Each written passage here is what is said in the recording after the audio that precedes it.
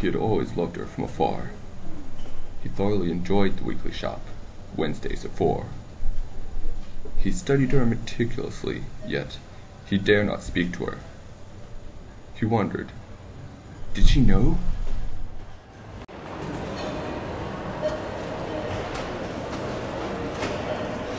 His obsession had grown wild. He could not help himself. He followed her everywhere.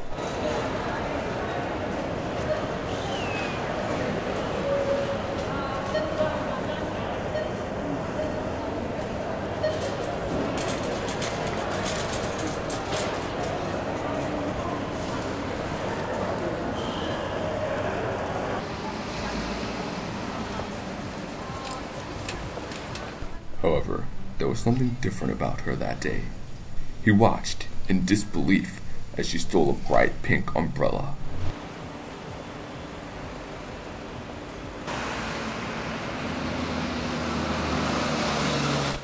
He thought she was quite adept at stealing.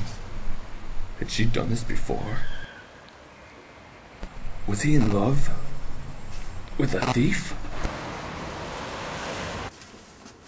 Excuse me. Excuse me. He'd even enlisted the help of his unassuming cousin. She was quite strange. She as well was obsessed. In senior citizen literature, they conversed oddly. Uh, no, just go and grab him while you go out. Well, I'm just gonna leave. I'm just gonna leave my umbrella here. Is it alright if you look after it? Yep, yep, that's fine. He thought it strange. Would the cousin get sidetracked yet again?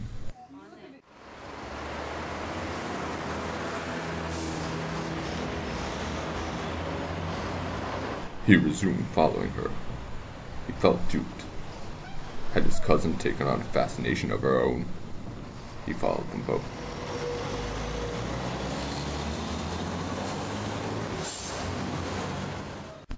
He watched her and wondered who she was waiting for. This filled him with jealousy.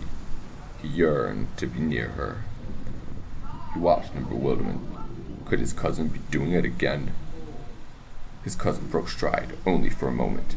She saw him, but it didn't deter her. He followed their conversation. Strange, he thought, just out of earshot. He could not make out their words.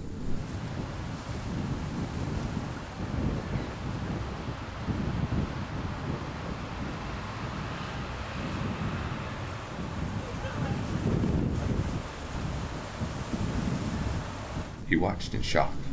What was happening? Watching the struggle, he felt helpless.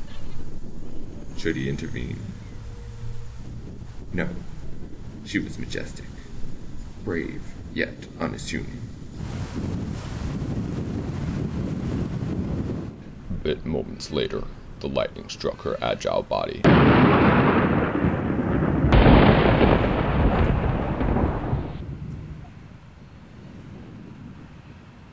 Cousin was back. Hadn't she done enough? He feared this was it. He'd finally lost her. Watching the last moments of life seep out of her body, he wished he was not a coward.